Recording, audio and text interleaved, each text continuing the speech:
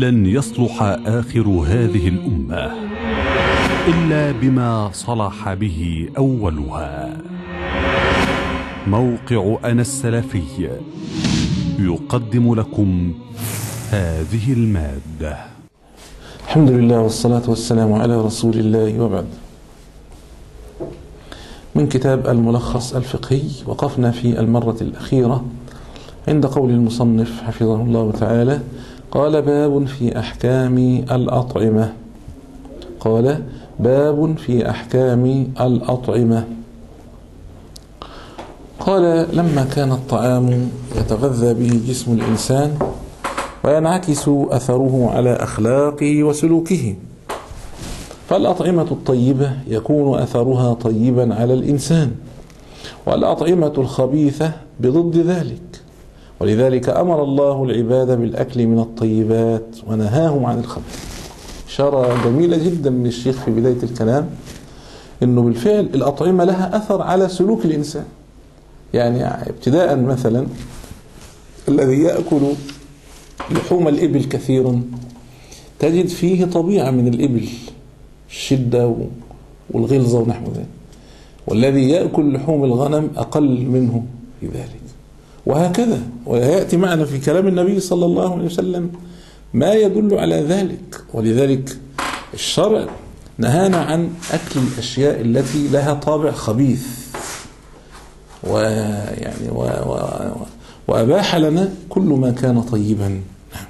قال الله تعالى يا أيها الناس كلوا مما في الأرض حلالا طيبا. ولذلك في الحقيقة الواحد بين يدي هذا الكلام ولا سيما ونحن في هذه الأيام العصيبة. يعني أيام نزول يعني هذا الوباء الذي يعم الأرض الآن. وباء الكورونا هذا الذي أحدث اضطرابا في البشرية كلها.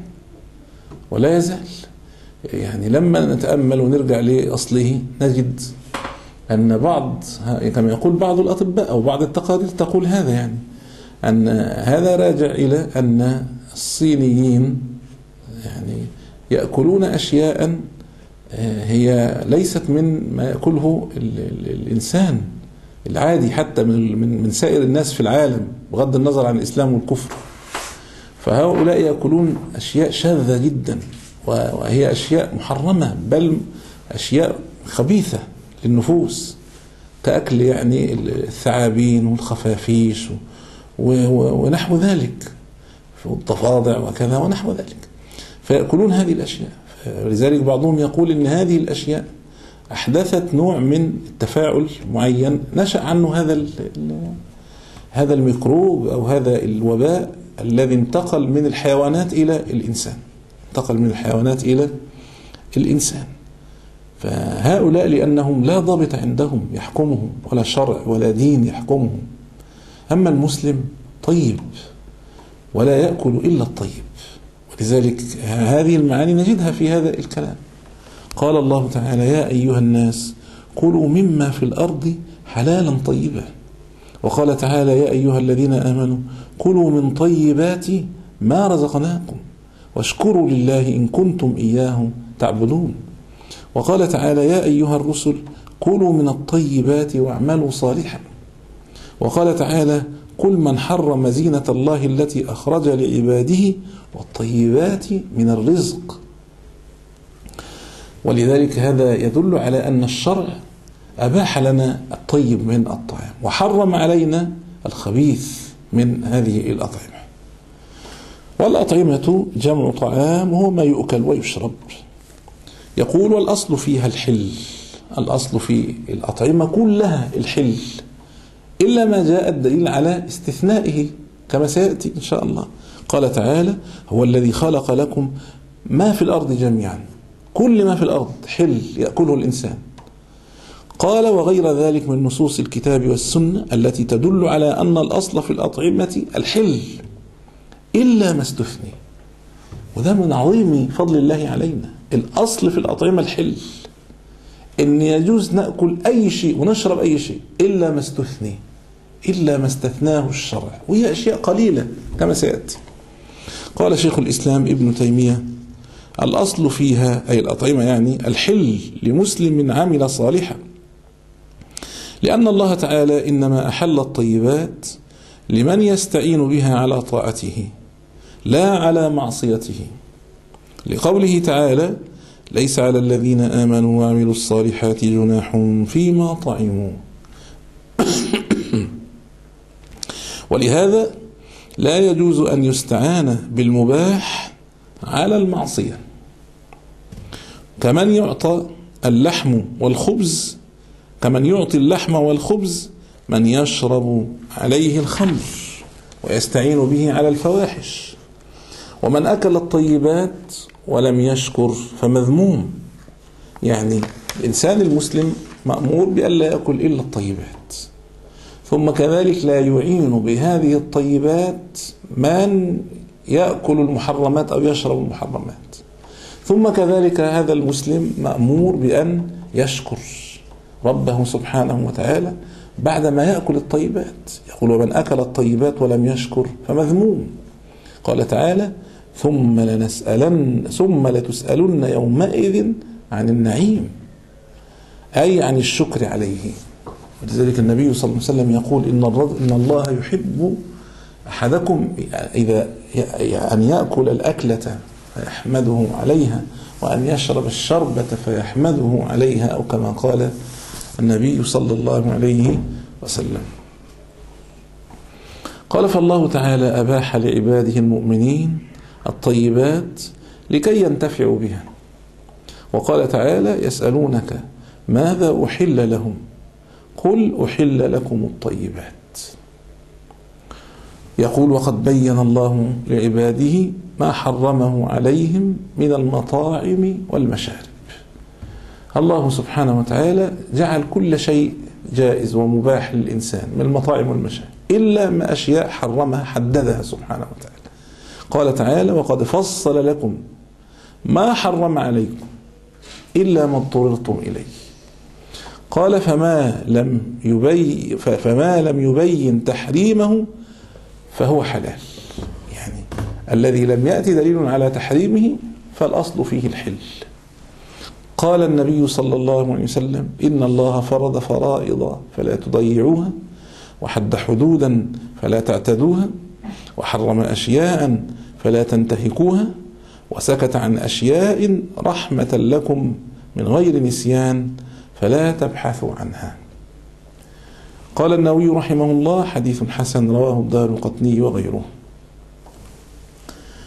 قال فكل ما لم يبين الله ولا رسوله تحريمه من المطاعم والمشارب والملابس فلا يجوز تحريمه.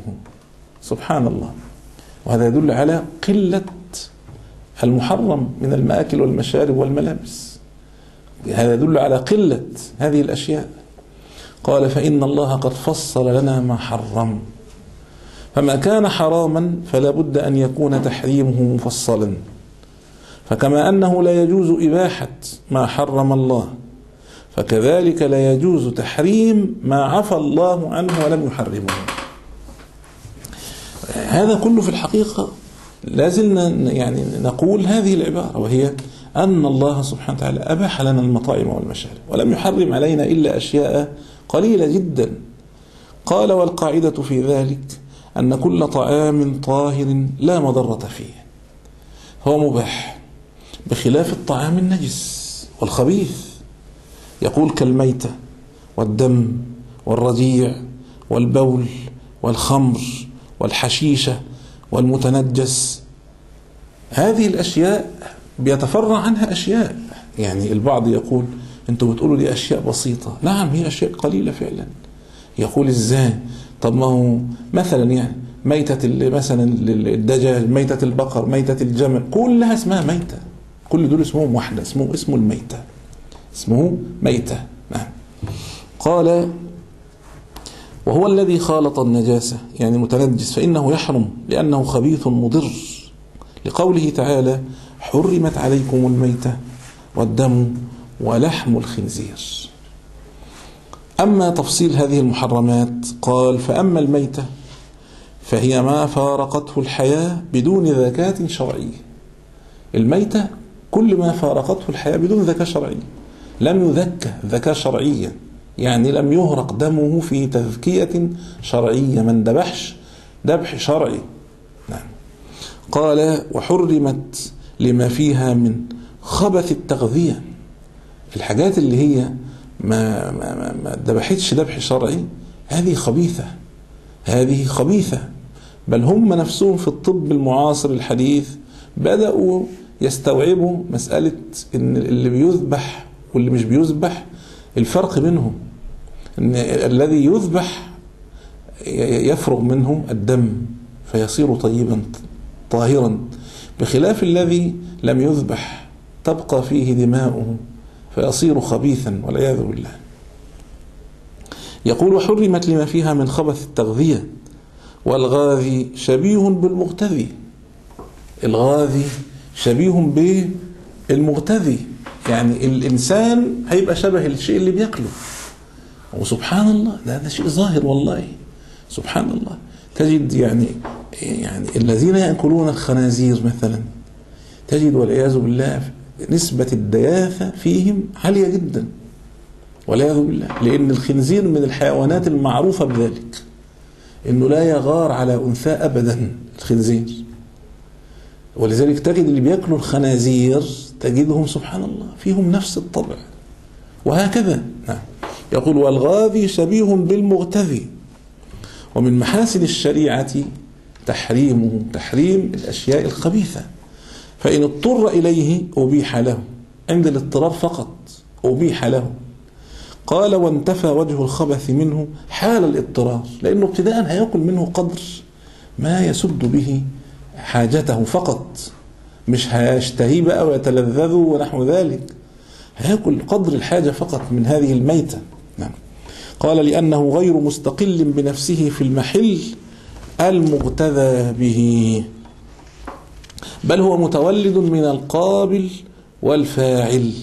فإن ضرورته تمنع قبول الخبث الذي في المغتذي المغتذى به. فلم تحصل تلك المفسدة. يعني في الميتة التي يأكلها الإنسان المسلم عند الإضطرار في صحراء ولا حاجة ولا غيره هينتفي هذا المعنى وهو أنه يأكل خبث لأنه بيأكله في حال اضطرار وحال ضرورة شديدة جدا في هذه الحال. وسيأكل منه قدر الذي يسد به يعني ما يهلكه. قال لأن فلم تحصل تلك المفسدة لأنها مشروطة بالاختيار الذي به يقبل المحل خبث التغذي. فإذا زال الاختيار زال شرط القبول. فلم تحصل المفسدة أصلا لأنه مش بياكله مختار. ده هو بياكله يأكله مضطرا لا اختيارا. نعم. وأما الدم أيضا من ما حرم الله من الأطعمة والمشارب الدم. قال فالمراد به المسفوح يعني الدم المهراط المسفوح. وكان أهل الجاهلية يجعلونه في المبائر ويشوونه ويأكلونه. يعني أهل الجاهلية والعياذ بالله كانوا يأكلوا الدم ويشووه ويعملوا أطعمة. ويأكلوها. فأما ما يبقى في خلل اللحم بعد الذبح وما يبقى في العروق فمباح. بخلاف الدم المتبقي في خلال اللحم يعني وفي العروق بتاعت الذبيحة بعد الذبح. خلاص. في قدر معين آه موجود لكن هذا يعفى عنه شرعا. وهذا لا يؤثر والحمد لله في خبث الذبيحة قال حتى لو مسه بيده فظهر عليها أو مسه بقطنة لم ينجس. أي نعم. قال شيخ الإسلام ابن تيمية رحمه الله الصحيح أنه إنما يحرم الدم المسفوح المصبوب المهراق فأما ما يبقى في عروق اللحم فلم يحرمه أحد من العلماء. انتهى.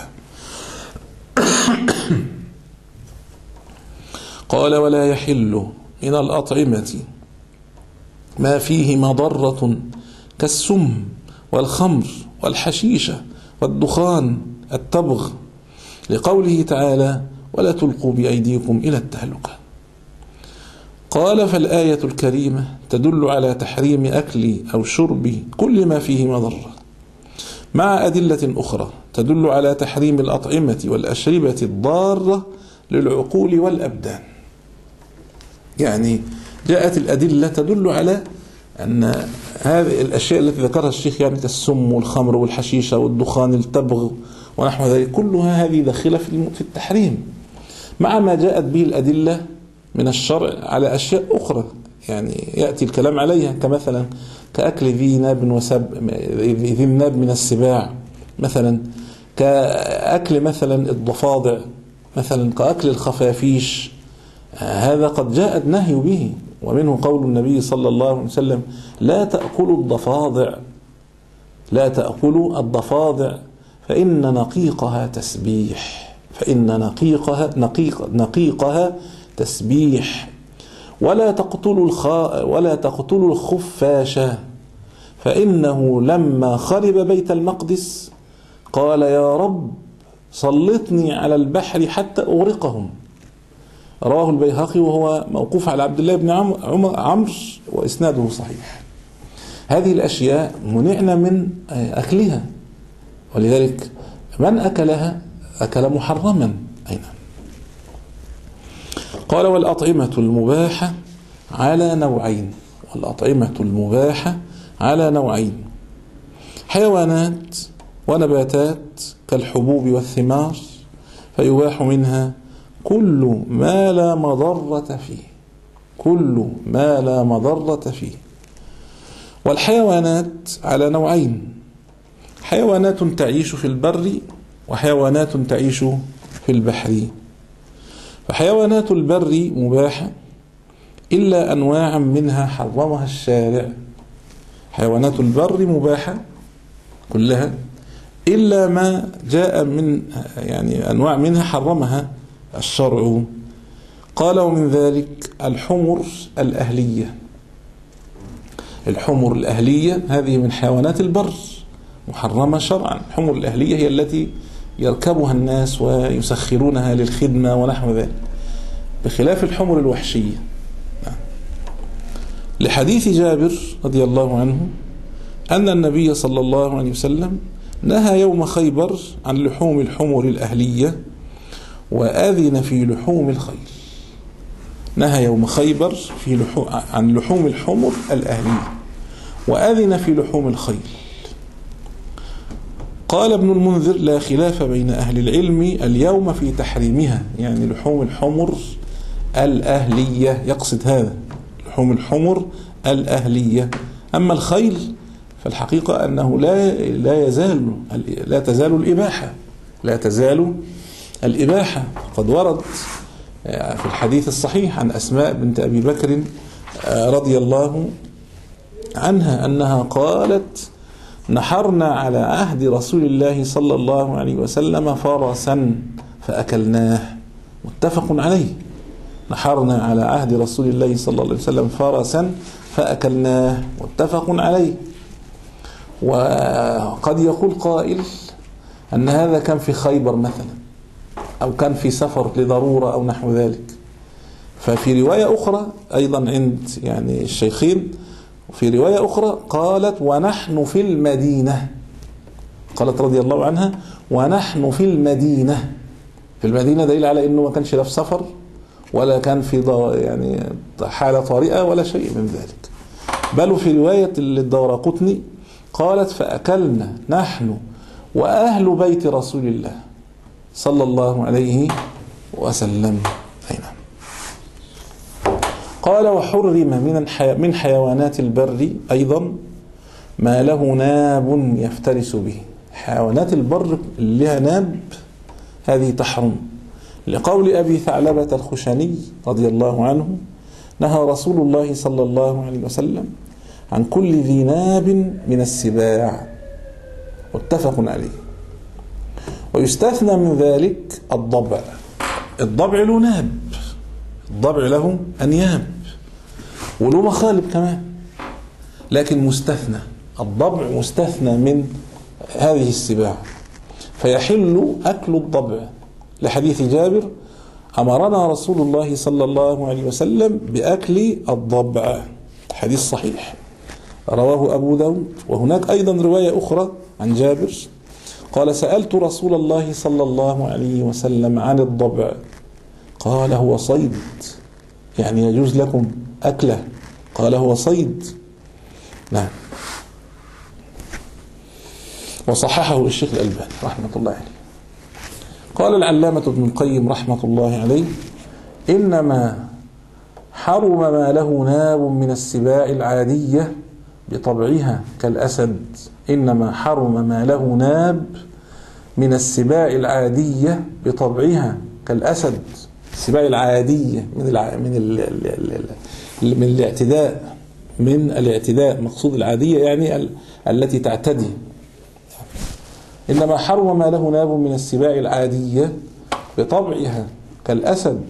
أما الضبع فإنه فإنما فيها أحد الوصفين وصف واحد. وهو كونها ذات ناب وليست من السباع العادية. يعني الضبع مش طبيعته إن هو بيعتدي. يعني ليس من السباع التي فيها الاعتداء. نعم. والسبع إنما حرم لما فيه من القوة السبعية التي تورث للمغتذي بها شبها. اللي, هياكل السباع هيبقى أخلاقه شبهها. نعم.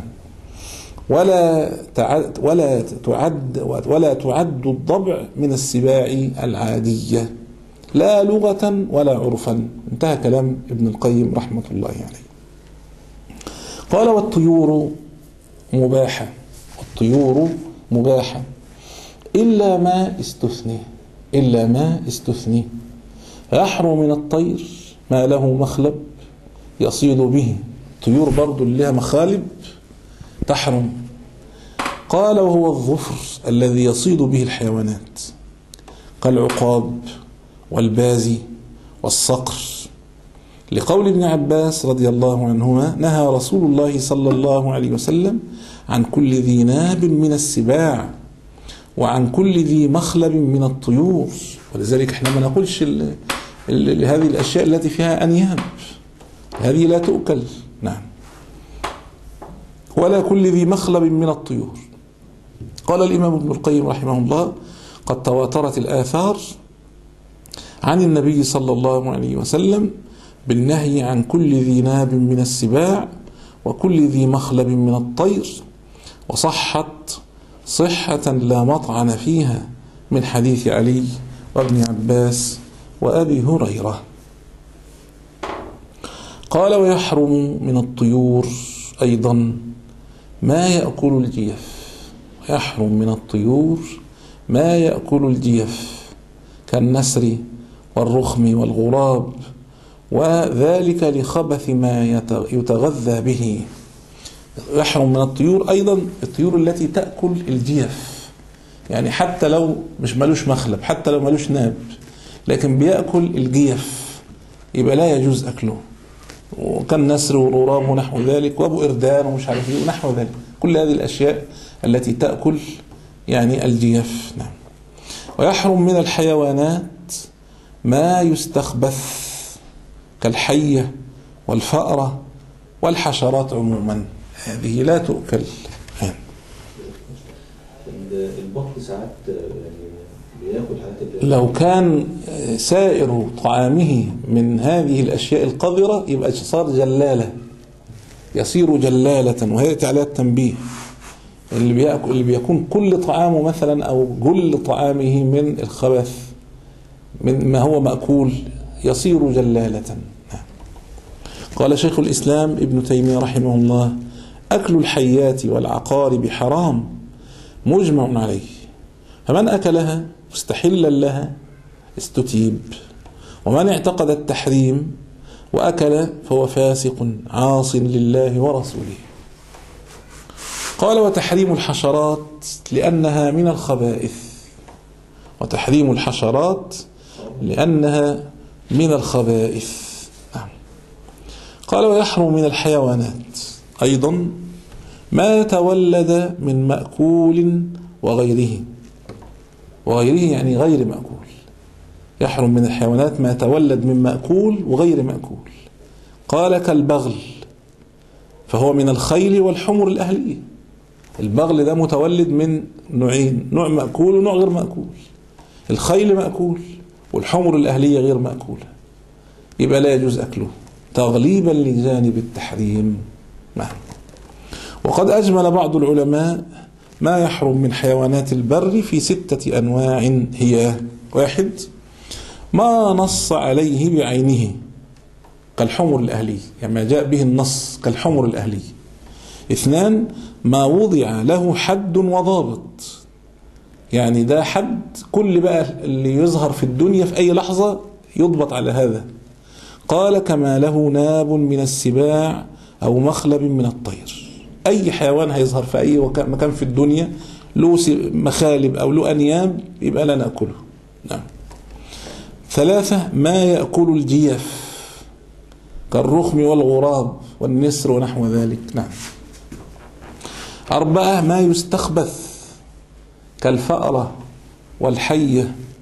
خمسة ما تولد من مأكول وغير مأكول كالبغل.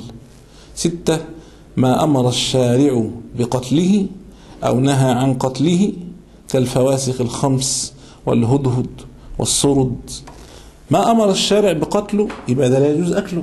إذا أمرنا بقتله يبقى لا يجوز أكل هذه الأشياء زي الفأرة مثلا والحية والعقرب وكذا ونحو ذلك. هذه الأشياء لا يجوز أكلها. أو نهي عن قتله أو نهينا عن قتله يبقى لا يجوز أكله. يعني زي النمل وزي الضفادع وزي الخفافيش ونحو ذلك. فنهينا عن قتلها وعليه يبقى نهينا عن أكلها. قال وما عدا ما ذكر من الحيوانات والطيور هو حلال على أصل الإباحة.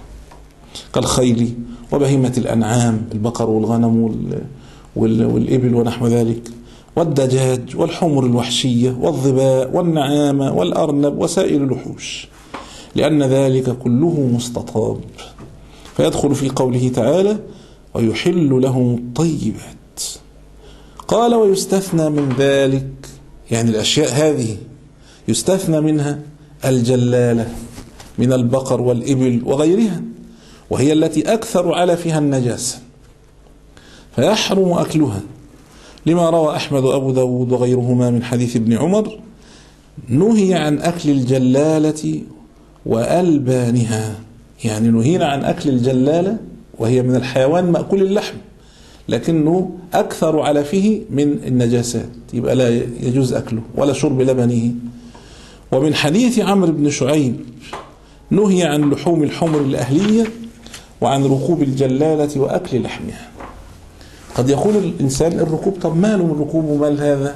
هذا نوع من التوبيخ والترهيب من أكلها ونحو ذلك إن ينهى عن استعمالها أصلا. قال وسواء ذلك في بهيمة الأنعام أو الدجاج ونحوه. قال ولبنها وبيضها نجس حتى تحبس ثلاثا وتطعم الطاهر فقط. حتى تحبس بعيدة عن النجاسات وتتحط في حظيرة تاكل طيب. ثلاثا أو ما يقدر لهذا الحيوان أنه تحول لحمه من اللحم الخبيث اللي فيه طعم الخبائث إلى طعم الإيش؟ الطيب.